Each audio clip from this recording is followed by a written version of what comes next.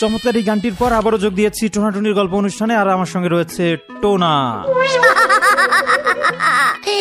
একমাত্র one piece সারা বিশ্ব মিলিয়া টোনা যার বিকল্প নাই নকল হইতে সাবধান।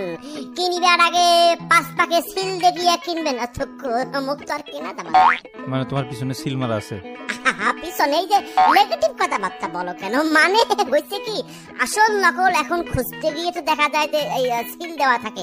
বিএসটিআই অনুমোদিত দেখে কিনুন। এখন ঘটনা পলাশ। ওই যে কয় না যে কিংবার আগে নকল থেকে সাবধান হওয়ার জন্য সিল দেখিয়া না, আসল কিংবা নকল। এই কথাটা অবান্তর নয়, কথা। হোক সে কথা মানে তুমি এত যদি ইতিহাস ঘাটাঘাটি করো, তাহলে তো সমস্যা হয়ে যায় না। এই যে একটা ভুল কথা মানে নকল যেটা, সেটা তো সিল আছে, আসল যেটা, সেটা তো সিল আছে। এখন মনে করো আমি একটা পিওর মানুষ, মনে করো এই জেলার মধ্যে একটা ভালো মানুষ আমি আছি।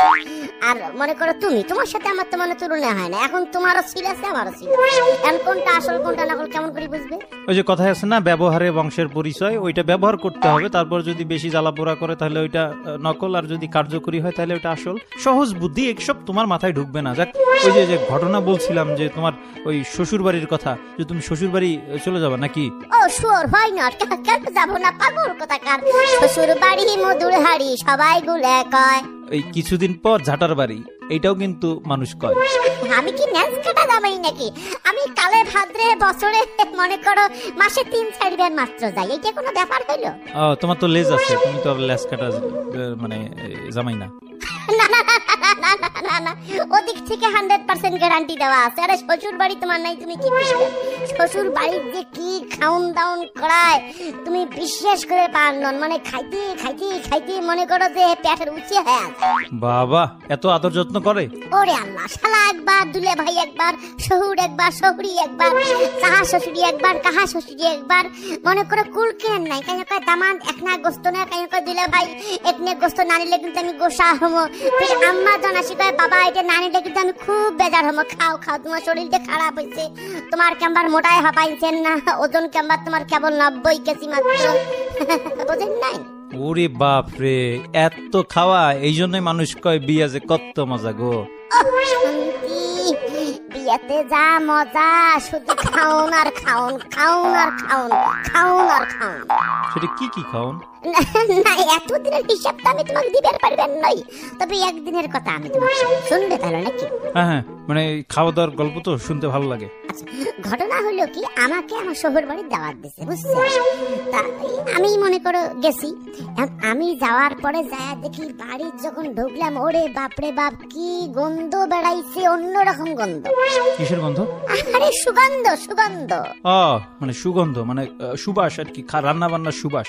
ওহ তুমি কইমেন কাডারি চালের পোলাও। পায়েস গরুর গোস্ত ভেড়ার গোস্ত ছাগলের গোস্ত মুরগির গোস্ত মোরগের গোস্ত হাঁস বোয়াল মাছ উই মাছ ইলিশ মাছ আলু ভাজি ডিম ভর্তা অথক্ষ আর ডিম ভাজি তারপরে ডাল সবজি তারপরে হলো পাডা শাক মাছের কাটা ছিল না? ওটা তো আমার পছন্দের খাবার তারপরে হলো কি আমার দেখার সাথে তো মনে করো আমার আমার শালাকোনা দৌড়িয়ে শিকার দিলে ভাই হাত মুখ ধুয়ে ফেরে সে নাও। আমি তারপরে হাত মুখ ধুয়ে খাইতে বসলাম। তো আমাকে সুন্দর করে খাবার তা আমি যে টেবিলের মধ্যে খাবার বসছি ওটা যে তরকারিগুলো কথা বললাম সব তরকারি দিয়ে ভরপুর। মানে থরে থরে সাজে থুইছে এক এক করে দিবে আর মনে করো যে এক এক করে গোডাউনের মধ্যে ঢুকবে বুঝছ? মানে একটু কোন গোডাউন?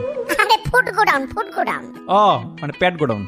প্যাট গোটাম তারপরে হলো কি তা আমি খাইতে বসলাম। তা ওই নর্মাল তরকারি দিয়ে তো প্রথমে ফার্স্টে শুরু হয় তাই না? তো আম্মা যেন আমাকে পোলাও একটা বলের মধ্যে দিয়ে কলে দামান শুরু করো। তা আমি বললাম ঠিক আছে আম্মা আমি শুরু করলাম। তা পোলাওয়ের এক বগলে তোমাকে পাড়া পাটা শাক দিয়ে মরুচ আর পেঁয়াজ। বাহ বাহ ভালো কথা।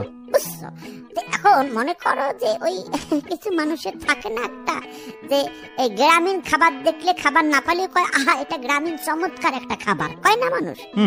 তা আমিও মুখ ফসকি কয়া ফেলাছি। আম্মা আমার তো পাটা শাক খুব পছন্দ। তো মনে করো যে খাওয়া শুরু করলাম পাটা শাক আর মরিচ আর পেঁয়াজ। তো আমি পোলাও আর পাটা শাক করে চিন্তা করলাম এই পাটা শাক কোনা যদি আমি মারি দিবার পাই তাহলে আমার সামনে তো মেলা ভালো ভালো তরকারি। ওগুলো একটা একটা করে দিবি একটা করে পুষিন করব আর গোড়ানো ঢুকি পড়বে বুঝছ? তা আমি এই নিয়ে পেট করিয়ে প্রথমে অল্প এখানে খাইলাম খাওয়ার পরে দিলাম তিতিয়া নাকে গেলাম সারা এরা কতখানি শেষ করো যন্ত্রণা। এই শাশুড়ে তো গোস্ত টোস্ত খাবার পাও। তারপরে করলাম কি? একেবারে থাপা ধরি শাককোনা মুখত দিয়ে আরে মরুচ দিয়ে করাত করাত করে কামড়ে শাককোনা গিরি বাহ বাহ মানে একবারে মেরে দিলা? মেরে দিলাম চলি গেল ফুট করে চিন্তা করলাম যে এইবার তো গোস্ত টোস্ত আমাকে দিবে তাই। হ্যাঁ দেওয়ারই তো কথা। আম্মা জন তাকে দেখিয়া দৌড়ি আসিয়া কয় তামা পাটা শাক তোমার এত পছন্দ বাহে? এলা মুই তেমন করি কোন নয় আমার পছন্দ না। বলছে আম্মা কি করবেন ওই কথা কওয়ার সাথে আম্মা যান মনে করো বড় একটা বাড়ির মধ্যে ফ্রিজ আনিয়ে ঢালি দিলে। আবারও পাটা শাক প্লেটত বাহ বাহ বাহ খেয়ে নাও। দেখায় দাঁত পড়ি গেল ওটাও খাওয়া শুরু করল কিন্তু এত তিতে আর পিছলে কি আর খাওয়া যায়? কমলা পাটা শাকের শুকায়নি বুঝছে? তারপরে কেষ্টে মিষ্টে খাম আর চোখ দিয়ে পানিও পরিবার ধরে। কতখানি এই খাওয়া শেষ হবে? একটু খা, না খেলে আমি তো গোস্ত পোলা খাওয়ার পার না। তাই কষ্ট মষ্ট করি খাইতে খাইতে আম্মা জন গেছে পাকঘর পানি বলি, এক ঘাপলা নিয়ে খাটের তলা ফেলে দিছে। যে কমুক তাই কমছে না? আম্মা জন আসি দেখিয়ে কয়, হেদা মা কি বাহে তোমার এত পছন্দ পাটা শাক। এক বাড়ি দিয়ে গেলুম তা পসলাত করে খাওয়া ফেলালে। তোমরা থাকেন তোমার শরীরের জন্য হেনা থইছাম ওখানে ধরিয়ে এসম মনে করো যে চান্দি মান্দি গরম হয়ে গেল। কয় কি রে শরীর বেড়ি, কয় কি হ্যাঁ? এই যে খাবার নাম জন্য এত কিছু করবেন তাও কয় শরীরের জন্য তাকে তোমাকে দিবে? এই কথা কওয়ার সাথে, আম্মা জামা দিচ্ছে আম্মাকে আম্মা খারা হন তো। আম্মা খারা হয়েছে। শোনো আম্মা এই এত কষ্ট করার তোমার দরকার নেই। তোমার পাড়াবাড়ি খেন করে তখন আম্মা জন, মুখ করে কেবা জন, তোমরা যে ঘরের মধ্যে আছেন, তার পাশ পাখেই পাদাবাড়ি খেন মুখ করে তোমার বাড়িতে ন্যাংরা নাই। দেখা বাবা ন্যাংরা কি করেন? কি ন্যাংরা চান? আমি কিছু গরু, ছাগল বান্ধা ন্যাংরা আছে না। তাকে আছে বা মজবুত নাইলনের ন্যাংরা আছে লম্বা আছে দশ হাতে। আমি বললাম যে আমার ন্যাংরা খেন ধরিয়ে এসো। তাকে আউ জামান তোমার শাক ধরিয়ে আসি তাক না আসবে ন্যাংরা আনবে কেন আমি বলি, আনো তো তোমরা ন্যাংরা খান তাকে দামান কন তো কেন ন্যাংরা কি করবেন? আমি করে আম্মা জান ন্যাংরা খানে ওই মোর গলার মধ্যে বাঁধে দিয়ে এই পাটা বাড়ির একটা বাঁধে দিয়ে আইসো মুই এলা আরামসে শুক করে খায় নেন। তোমাকে মিশে মিশে কষ্ট করার দরকার আছে। এই তোমার শ্বশুর বাড়ির গল্প? এখন কি করবে? বেকায়দাত পড়ি হয়ে গেছে আর কি। দাঁত কামড়ে ধরে থাকো।